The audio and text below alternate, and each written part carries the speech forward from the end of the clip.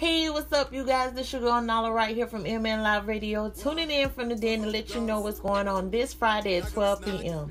Make sure you stay tuned in with me and Mike Ali out of Chicago, who is an artist who indulges in the unfamiliar trap sounding beats. Listen, this is going to be very interesting. So all I can tell you is tune in because you don't want to miss this.